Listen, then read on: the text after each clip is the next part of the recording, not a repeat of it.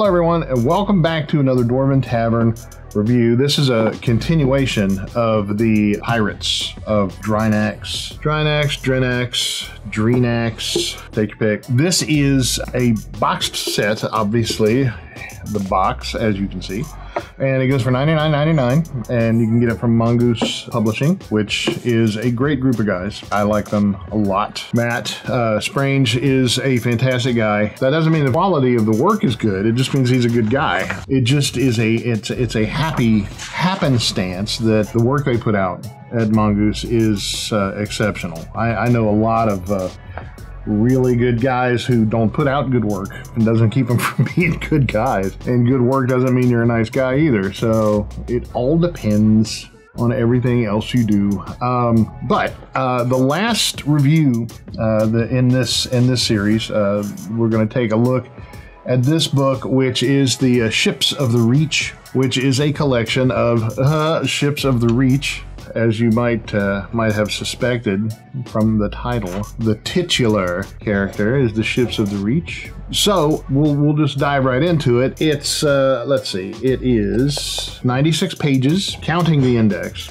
So, and it is just it's it is just that. It is a collection of ship blueprints, starting with uh, the an explanation of the ships of the Reach, uh, the High Guard Aslan, the ships of the Aslan, and the ship index and deck plan keys. And uh, it is it is in the format, as you can see, it is in the format of all all the other ship and vehicle books which again that familiarity you you know what you're looking for. So when you when you open this book you're not greeted with Times New Roman where you're in this book and you're greeted with like black cherries or you know some some sort of wedding script. And it's like what am I looking at? With different formats. No it's it's they keep it they do a, very good job keeping a standard. With each one has a uh, a map, a floor plan, deck plan with all of the uh, specifications of the ship, and uh, it it is replete with really cool designs. And I would love to know what uh, what program they use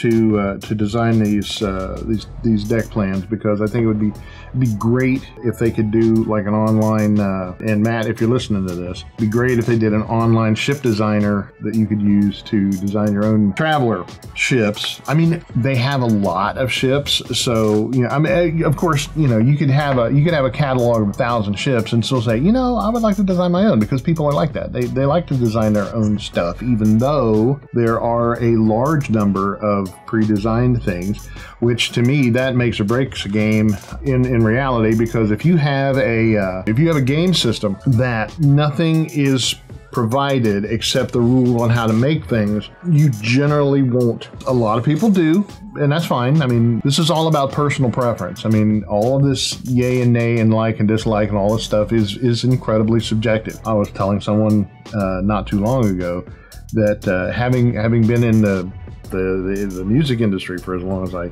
have, which is literally decades, you come to learn that every that no matter what you no matter what you do, someone is going to absolutely hate it and someone is going to just completely love it, adore it. So, you know, being in the in the public with anything you do, you're you're going to get adoration and despite, or you're going to get hated, vehemence. So, the ship designs uh, for for a long time, it seemed like Traveller was uh, all about that wedge shape. Uh, a lot of things were wedge shaped and and it you know it's like well is that the only ships they got? And that's why i guess a lot of folks would want to design their own because they got tired of the star destroyer design in you know can i see something in an, an extra small or an extra medium?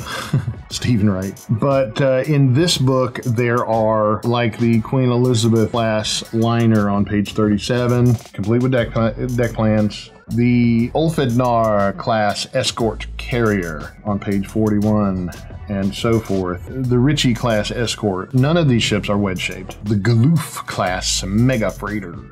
Incredibly cool. So yeah, uh, the the ships that they have created for this are just uh, they're just a joy to look at highly enjoy all of the different ships. Now, when we get to the Aslan, the Aslan ships, we get into Aslan designs, which are kind of uh, kind of spearhead. Uh, some of them are asymmetric, some are wedged, wedge shaped, some are not.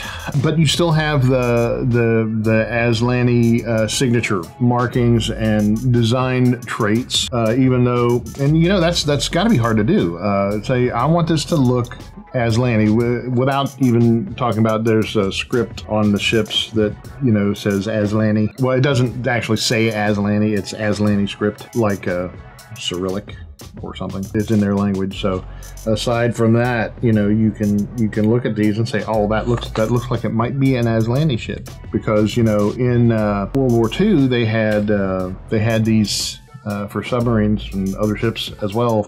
They had these uh, charts of what the silhouette looks like because the ships all look kind of alike, except the fact that you uh, you can't actually see the ship up close. Blah blah blah. So you got to see, and, and all the ships look alike.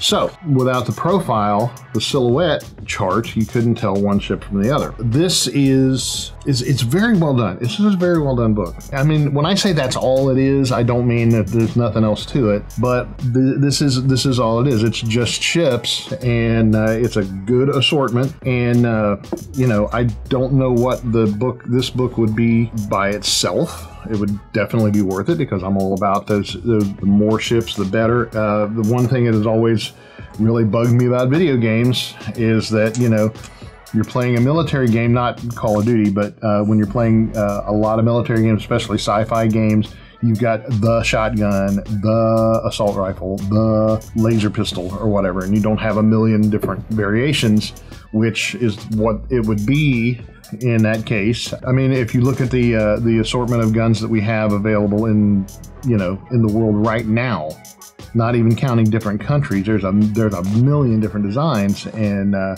even though you know you've got the hundred thousand different uh, weapons that fire the 9mm Luger, you still have, you know, a million different guns that, that fire that. So the Ships of the Reach is uh, is definitely a five star book. There's nothing there's nothing detracting from it. They they did a fantastic job of making individual ships that follow a theme right? It follows a theme. It keeps the ships individualized. It doesn't follow the, the same old, same old designs because there, there are different types of ship that give you a different, the Buccaneer class, blockade runner, baby, on page 11. 10, 11. All these all these ships are fantastic.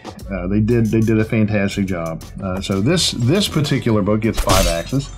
Uh, just because uh, one of the things that I judge on is does it, you know, does it do what it is intended to do? And this is, it purports to be uh, ships of the reach, and it's exactly what it is. Uh, it is it is ships of the reach, and that's not detracting from it at all. It is uh, it is a fantastic collection of ships that just happen to reside in the Reach. Now, lastly, um, I did want to mention, and I, and I mentioned this in the first review. I wanted to mention the uh, the map because one of the things that makes the Traveller universe so freaking cool is their enormous collection of maps star charts and stuff because when you when you think about it, what would be better, uh, what would be more prevalent in uh, in a game without maps? What would be a traveller game without maps? And uh, this map is no different.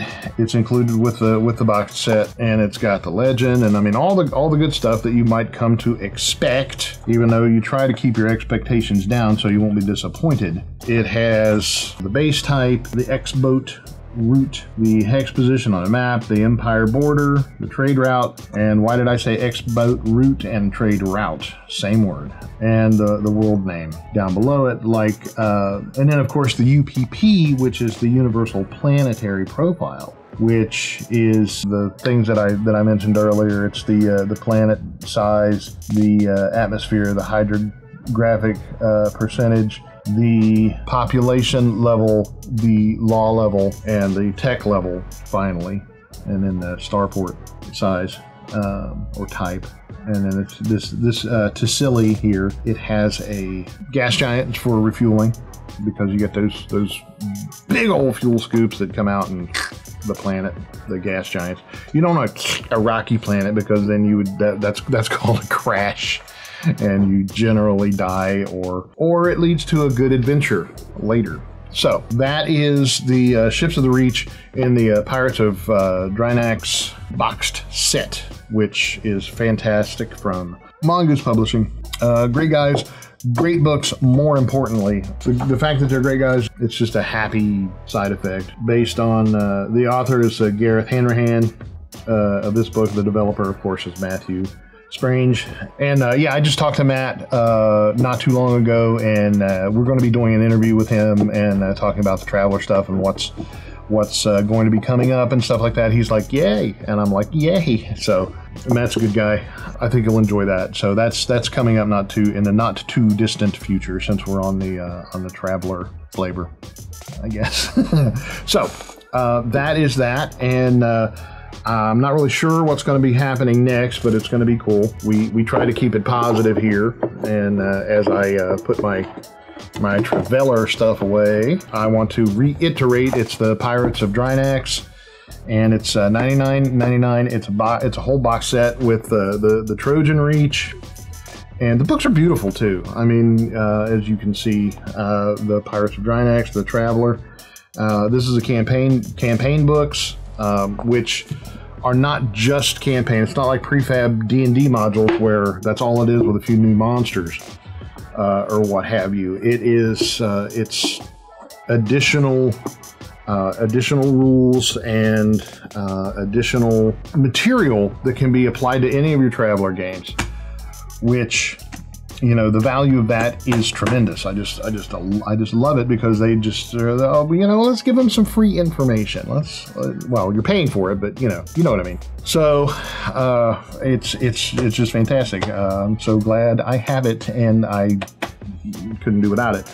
Um, the next thing we're going to do, uh, we, we rarely do PDFs, but we're going to do the, the Traveller Companion, which uh, which is coming up in, in the next review, and it's uh, addition. It's a it's a Traveller Companion. It's a it's an additional rule set and and things uh, addendum and such for the for your Traveller game, and uh, we're going to be doing that. So, uh, with that being said, on behalf of the entire cast and crew, five axes to this guy. And we wish for you to want for nothing but adventure. And at first I feared it, then I charged. Thanks for watching, and we will see you next time.